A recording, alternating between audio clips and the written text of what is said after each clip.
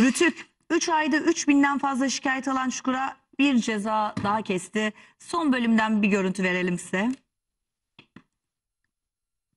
Çukur. Ben şimdi bu çukurla ilgili ne zaman iyi bir şey desem anneler beni topa tutuyor. Görürsün işte senin çocuğun da büyüyünce başına gelecek. O yüzden susuyorum. Haklılar. Ama sen haklılar diyorsun fakat bakıyorsun pazartesi al bugün göreceğiz. Birinci Salı günü bir görüyorsun yine birinci. birinci. Yani sanki bunu sadece Türkiye'de Ece düşünüyormuş ya da söylüyormuş gibi değil ki. Takdir de öyle. Bak ama Rütük'ten cezalar yağmaya devam ediyor. Evet ya ne olacak 3 peki? ayda 3 bin şikayet.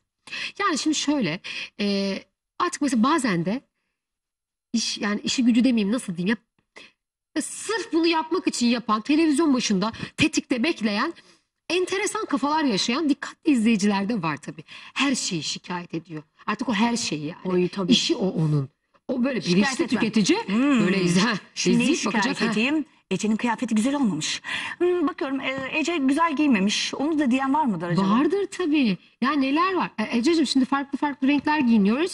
Bir bilmem neyin bayrağına benzetiyorlar. Her şey Onu aynı. bile şikayet Sen ediyorlar. hatırlamıyor musun? Geçen sene ben iplik çözdüm burada. Tabii İplik canım söktüm. pembeydi bir de senin ipliğin. Ay dedim yanlış anlaşılmasın. Sen söktün hatta ipliği Evet. söktük beraber. Ben bir tane Kaza yolduk kaza yolduk kızmayın diye. küpe taktım daha mavi küpe bak. Mavi sarı kırmızı. Hemen baştan başlıyoruz mavi diyorum yine de yazmışlar. Ki bizim e, milliyetçiliğimizi Herkes e, bilir kimse yani. Burada oturup bayrak mı taşıyamaz. e, şey yapacağım? E, Böyle bir ha- aforizma yok içimde. Tabii ama şimdi e, Çukur'da başka sahneler var. Biliyorsun e, İçişleri Bakanı Süleyman Soylu'nun da değindiği. Evet o da şimdi çok kızdı çok biliyorsun. evet onun da çok kızdığı. E peki dikkat etsinler onlar. Ay yapım. Kerem'e buradan sesleniyorum. Kerem Kerem Çatay. E biraz dikkat edin senaryoda o zaman sizde. Bu kadar şikayet varsa, bu kadar çoluk çocuk etkileniyorsa çok muhteşem bir dizisiniz. Güzel sosyal sorumluluk mesajları da veriyorsunuz. Güncel olaylara da değiniyorsunuz. Bu kadar şikayet varsa bir dikkat edin arkadaşım. Haksızsın. Şikayetin yanına bir de izlenmeye bak. Ben bir, bir ölçer Arsa ne? tartarım yani. Arsa ama izlenme var da her şey izlenmede değil yani. Eğer bu kadar çocuklar etkileniyorsa birbirlerine silah çekiyorlarsa ama ben de anlamıyorum birçok dizi var. Yani e, sadece çukur mu? Bu kadar? Silahsız bir dizi bana söyle. Mucize Doktor. Başka yok. Dur bakayım var ya. Silahsız, töre, bilmem gelenek, Bakirelik. çocuk bir şeyi, bakirelik. Yeni olmayan. şimdi bu yeni çıktı bir Evet, de o. kadına şiddet bu kadar Sefir'in gündemdeyken kızı. Sefir'in kızı biliyorsunuz çok konuşuluyor. Ee, ya dikkat etsek keşke değil mi? Bir çocuklar duymasın vardı ha, yıllarca hayatımızda. Arka, Onu sokak, bile- arka sokaklar niye bu kadar tepki almıyor? Arka sokaklarda Onlar oyunculuklar polis. kötü. Ondan mı? Cidden Yalan baş, başroldekileri kastetmiyorum. O her gün bir oyuncu geliyor ya gidiyor ya onlar onlar vallahi çok kötüler ya. Hani böyle e, figüran abiler ablalar var ya. Onlar evet tam gö- ama Aa.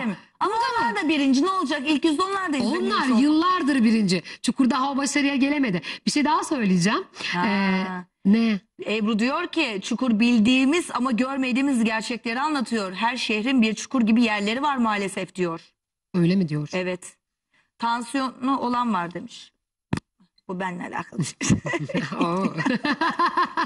Ay Allah'ım Pardon. ya. Peki. Evet. Ee, bu arada kurtlar var. Abi, şu, şu- çocuklar duymasın dedi. Çocuklar duymasının da kitaplığındaki arka kitaplık FETÖ bilmem neyi çıktı. Ee, FETÖ'den bir şey yapan adamın kitabı çıktı.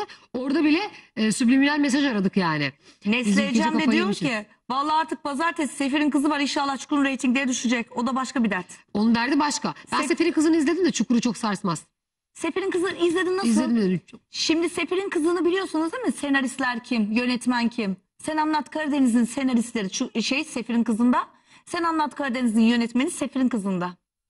Ee, evet yani e, Sefi, e, Sen Anlat Karadeniz'de şiddet söz konusuydu kadına şiddet. ama kadınlar E ödül şimdi almıştı. de evet ve ödül almışlardı. Değişik bir ülkeyiz Altın yani. Kelebek. E, şeyde de Sefir'in kızında da Aynı ekip. bakirelik e, hala konuşulan Şiddet, bakirelik. cinayet. Ya düşünsene. Kızla birlikte oluyor. İ- i- şey evleniyor ilk gecesi. Kız bakire O çıkmıyor. görüntüleri versek de çok güzel. Kız bakire çıkmıyor. Sen kızın daha evvel cinsel istismara uğradığına mı sinirlenirsin? Bakire çıkmadığına mı? Ya za- böyle Bunu zavallı erkek, vermeyeceksin işte. Bu mesajı vermeyeceksin. böyle Bu zavallı kadar- erkekler var. E, hayır ama işte hayır. Bu mesajı verirsen meşrulaştırırsın ve erkeklerin kafasına dersin ya "Aa, böyle şeyler olabiliyor. Sen bunu vermeyeceksin. Sen bunun ne kadar yanlış olduğunu vurgulayacaksın. Neden? Bu kadar çok namus cinayeti varken, bu kadar kadına cinayet söz konusuyken, kadınlar gereksiz saçma sapan yere canı alınırken anne ölme diye Emine Hanım'ın yanında, hanım diyorum, Emine Bulut Rahmetli. rahmetlinin yanında a- kızı bağırıyorken anneciğim ölmesin, annem ölmesin lütfen derken ölme diyor. bak hala çığlıkları kulağımda. Tansiyonum düştü. Çok acı. Bunlar varken dizilerde bari olumlu düzgün mesaj verelim bu cahil kitleye. Doğru söylüyorsun. Gerçekten yapamıyoruz mu bunu? Ama biz biz nasıl biz hep kötüyü örnek alırız. Bak adam ne haklı. Bu ev bak kaç evde şu şunu duymuştur.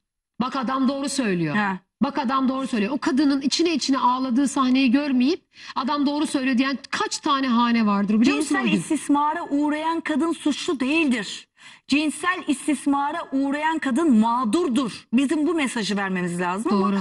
veremiyoruz. Ve va- bakın o Şaka film gibi. o fi- dizinin deva izledim ya ben. Dizinin devamında kız ailesine anlatıyor biliyor musunuz? Bana cinsel saldırı oldu diyor. Ailemdeki bir adam tarafından. Ve aile inanmıyor. Yazık işte. Kızı Tabii- suçluyorlar. tabii Ve sonra bunlar- kız katil oluyor tabii. Bunlar yaşananlar. Bunların İnşallah hepsi yaşanıyor. Sonra katil olunca da kimse ki namus ka diyorlar ya namus cinayeti. Asıl namus cinayeti kendi namusunu koruyan kadınlar tarafından olursa benim için olay olur.